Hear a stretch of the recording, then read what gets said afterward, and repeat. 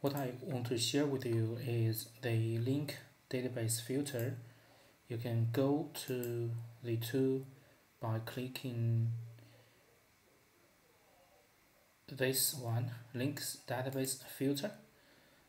With pop-ups, its uh, is the destination, the original folder, the base.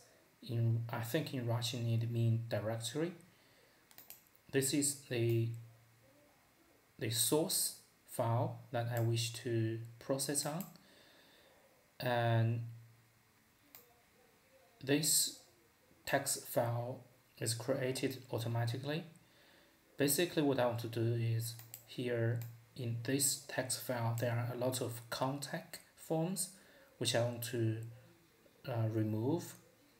What you need to do is very simple can be achieved here. You put the words here. For for example contact uh, or contact us. And you just put contact would be fine. If there is another word in a URL that you want to remove for example um, maybe they are writing as another form like um, say maybe reach us well you have to check the link list to find a common pattern.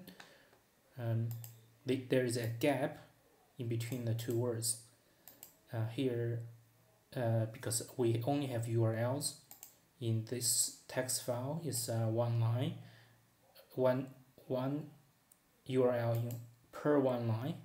So we just put um, entire line.